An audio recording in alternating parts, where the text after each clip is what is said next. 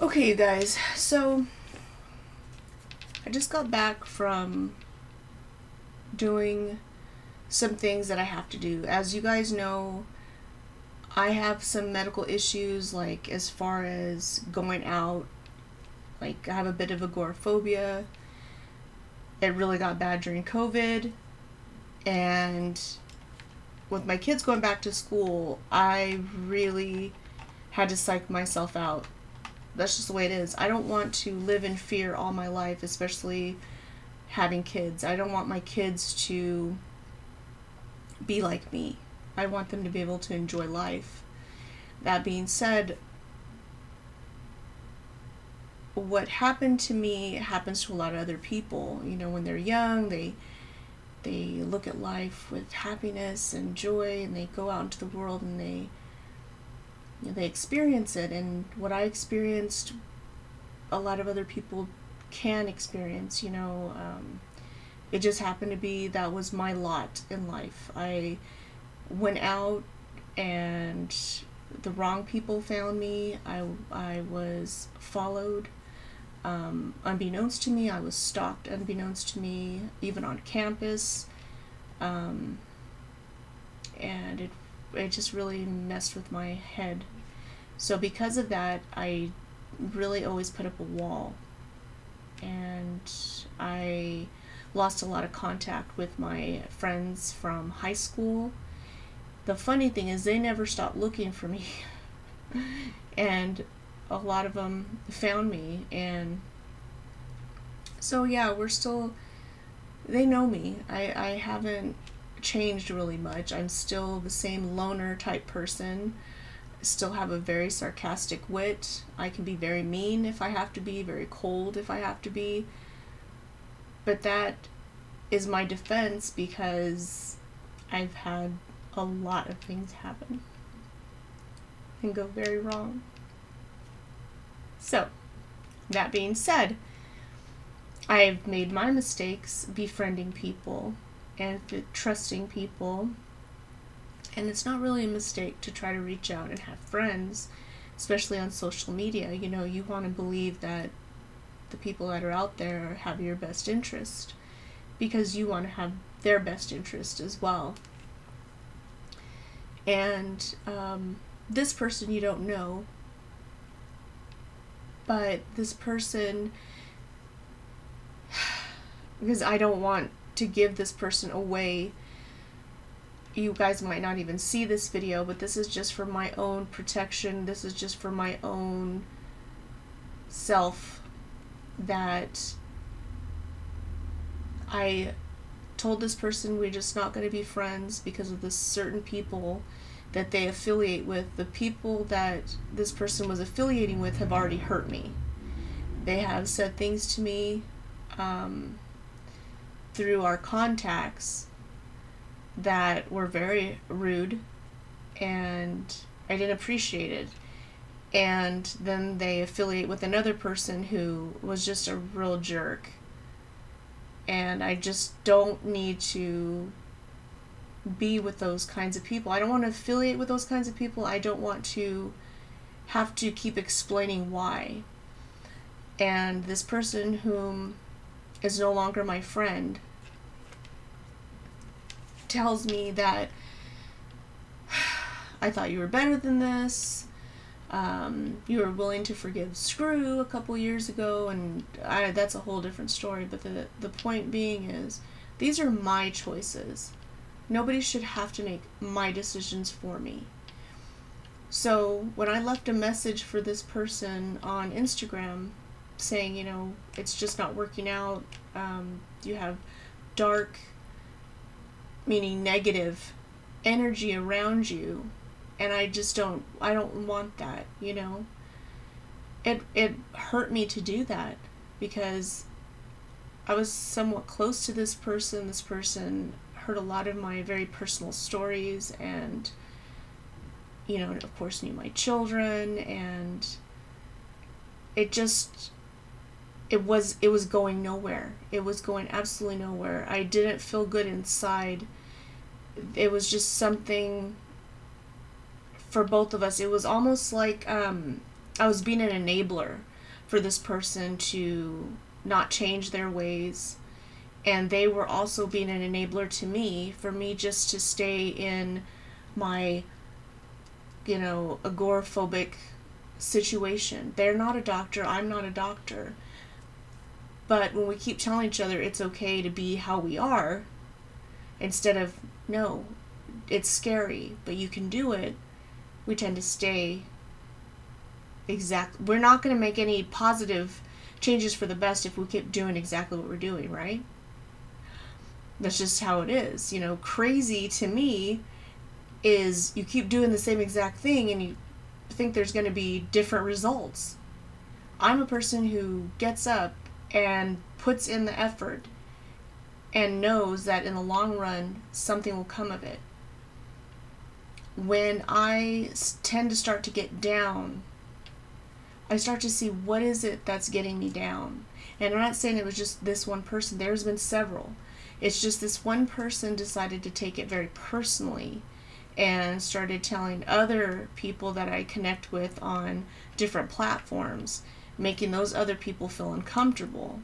So I reached out again, which I did not want to do, but just to make peace, I reached out and I said, Look, I apologize. I'm sorry if I hurt you. That was not my intention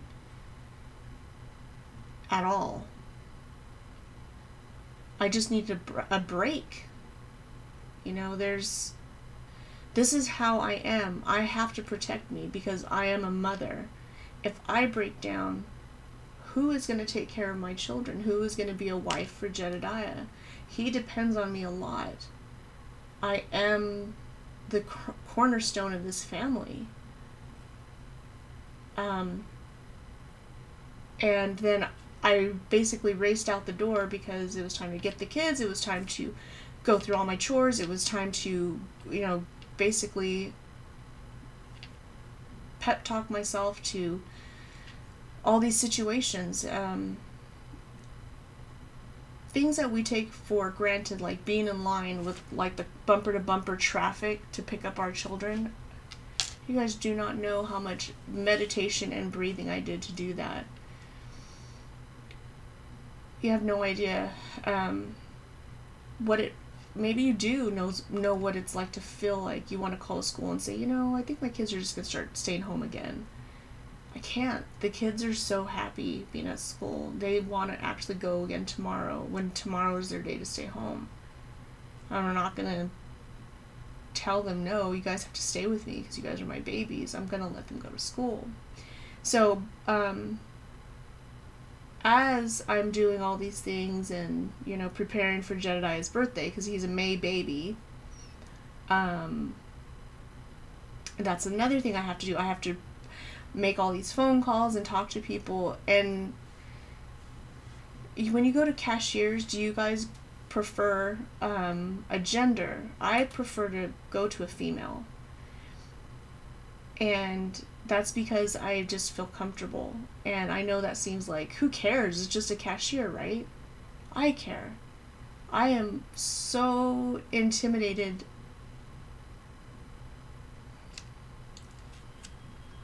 I can't. I. It's tough for me to. I just don't make it a habit to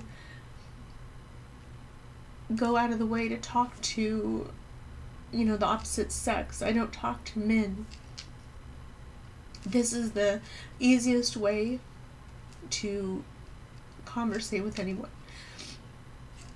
because it's just like um it's not real.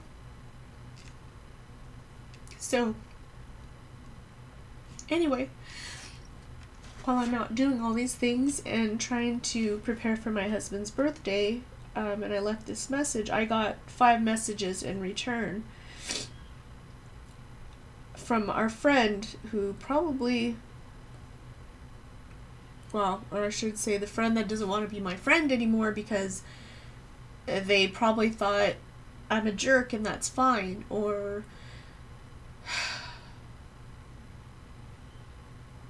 if people don't understand that I do have their best intentions, always, but I can't keep putting other people in front of myself or my kids, then yeah, you can hate me or think I'm the worst person in the world. And whatever gifts that you know you bought out of the kindness of your heart as leverage for whatever reason, if you want those back, I will be glad to give them back to you.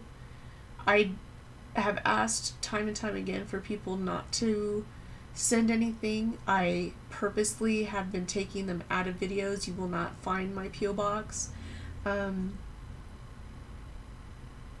yeah, when when people send me requests and donations, I've been sending them back. Uh, there's a few people that I ex- I accept donations from, and those are some uh, really good friends.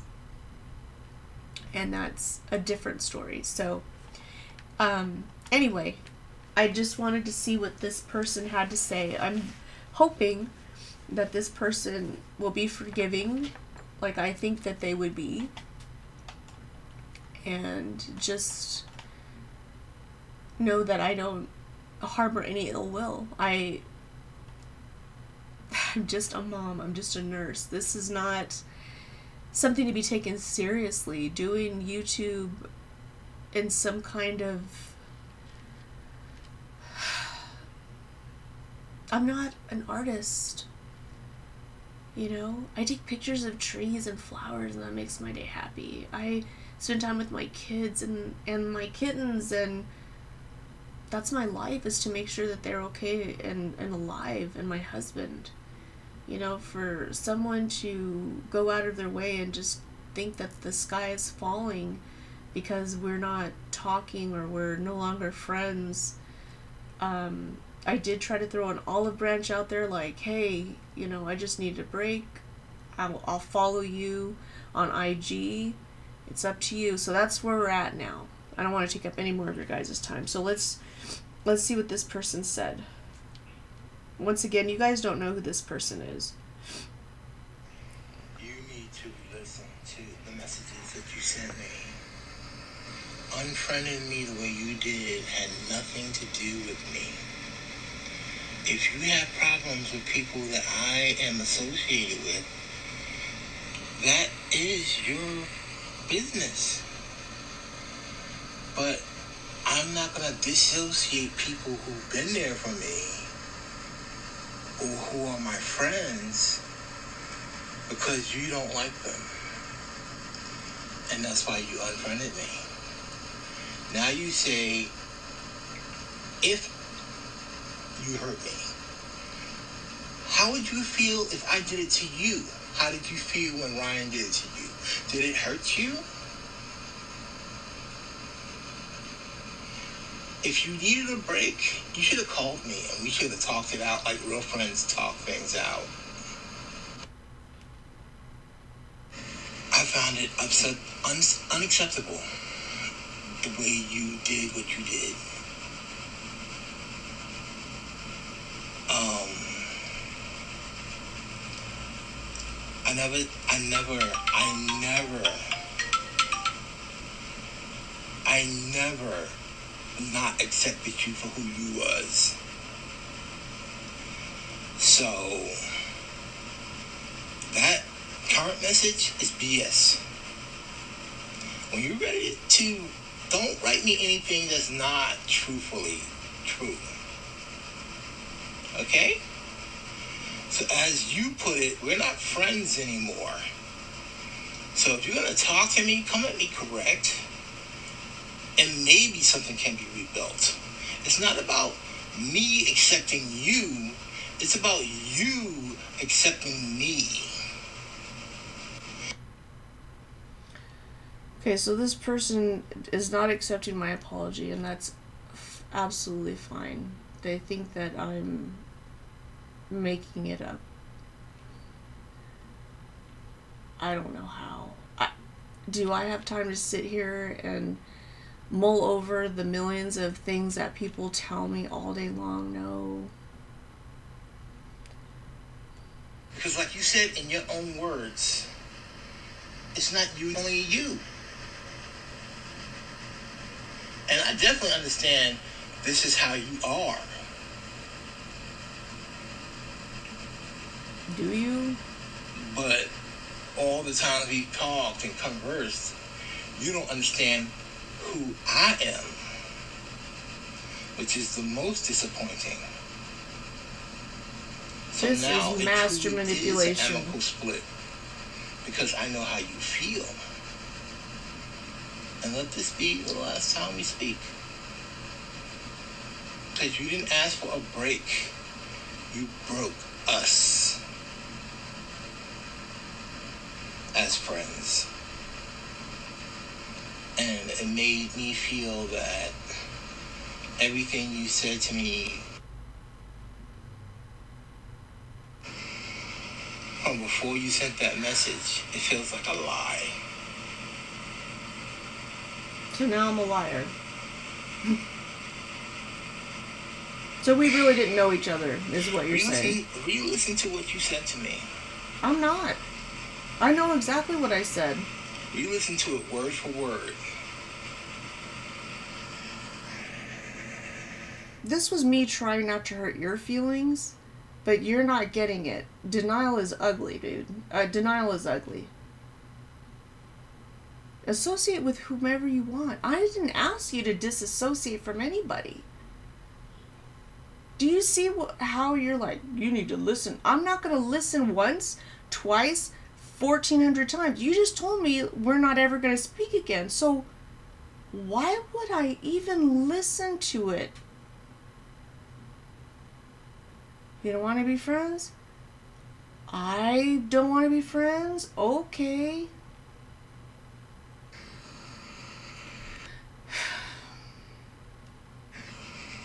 I wish you all the best. Okay, good. I wish you the best too. I wish you good luck on your endeavors. That is also true. Is if it? your cage disappears and you're finally doing what you want to do, okay.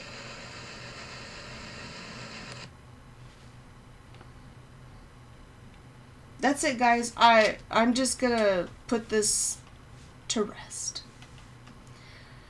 i, I don't have time for um back and forth i don't